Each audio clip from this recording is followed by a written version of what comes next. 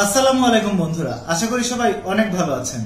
আমার দুই হাতে আপনারা কি দেখতে পাচ্ছেন? এক হাতে দেখতে পাচ্ছেন একটা পাঁচশো টাকার নোট আর এক হাতে দেখতে পাচ্ছেন একটা পাঁচ টাকার কয়েন। সো এখন আমি যদি এই টেবিলের উপরে দুইটা কয়েন এবং টাকা দুইটা নিয়ে যদি আঘাত করি, তাহলে কি হবে? সাউন্ড কে বেশি করছে? কয়েন বেশি সাউন্ড করছে। কয়েনের মূল্য টাকার চেয়ে কম।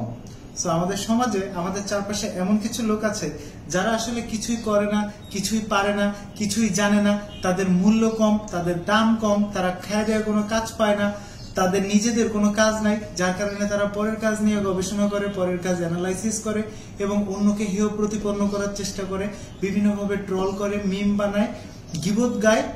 সো তারা হচ্ছে এই কয়েনের মতো। আর আপনারা যারা নতুন উদ্যোগ নিয়ে সামনের দিকে এগিয়ে যাওয়ার চিন্তা ভাবনা করছেন, আপনারা হচ্ছেন এই নোটের মতো, যাদের দাম অনেক বেশি, কিন্তু সাউন্ড করে খুব কম। আপনারা যদি কোনো একটা স্টেডিয়ামে যান, তাহলে দেখবেন সেখানে খেলছে যারা খেলোয়াড় তারা, আর আওয়াজ করছে চারপাশের দর্শকরা। So there are lot of people who will be around you and they will make noise they will try to interrupt you but আপনাকে তাদের কথা কানে নেওয়া যাবে না। লোকে কি ভাববে, তা যদি আপনিই ভাবেন, তাহলে লোকে ভাববে কি? সেকেন্ড আপনাদের টাকা নিয়ে আরেকটা গল্প বলব। সেটা হচ্ছে, ধরুন আমার হাতে এখন আপনারা কি দেখতে পাচ্ছেন? একটা পাঁচশো টাকার নোট দেখতে পাচ্ছেন। নোটটা আপনাকে দিতে চাইলাম, আপনি নিলেন না। নোটটা কার কাছে থাকল? নোটটা কিন্তু আমার কাছে থাকল। তদ্রুপ, আমরা যারা বিভিন্ন সময়ে বিভিন্ন সামাজিক যোগাযোগ মাধ্যমে অনলাইনে মাস্তানি করে বেড়াই, বিভিন্ন ধরনের গালাগালি করি, তাদের অবস্থাটা কীরকম? যেমন ধরেন, এগুলো নিয়ে আসলে আমি পার্সোনালি ফিল করি যে এগুলো নিয়ে আমাদের হীনমন্যতায় ভোগার কোনো কারণ নাই।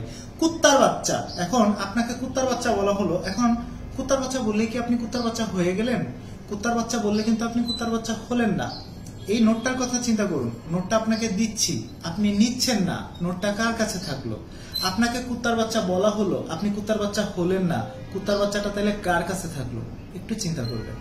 থার্ড আমি আপনাদেরকে আরেকটা পয়েন্ট বোঝানোর চেষ্টা করব। এই টাকাটা দিয়েই। সেটা হচ্ছে আপনারা আমার হাতে এখন একটা পাঁচশো টাকার নোট দেখতে পাচ্ছেন। নোটটার ভ্যালু এখন পাঁচশো টাকা। এটা কীভাবে বোঝা যাবে? যেমন ধরেন, আমি যদি এখন পাঁচশো টাকার কোনো বই কিনি, ধরেন আমি তিনটা বই কিনবো, আমার বইয়ের দাম আসলো পাঁচশো টাকা। সো এটা একটা এক্সচেঞ্জ ভ্যালু আছে। এখন মনে করেন এই পাঁচশো টাকাকে আমি হাতের ভেতরে নিয়ে এভাবে দুমড়ে মুচড়ে ফেললাম। এখন কি এই পাঁচশো টাকার সেম ভ্যালু আছে? এখনও কিন্তু এই পাঁচশো টাকার সেম ভ্যালু আছে। আবার মনে করেন আমি টাকাটাকে নিচে ফেললাম এবং নিচে ফেলে পা দিয়ে পাড়া দিলাম। পা দিয়ে পাড়া দিয়ে তারপরে আবার নোটটাকে উপরে তুললাম। এখন নোটের গায়ে যদিও কিছু ময়লা লেগে আছে, কিন্তু নোটের দাম কি পাঁচশো টাকার চেয়ে এক টাকাও কমেছে?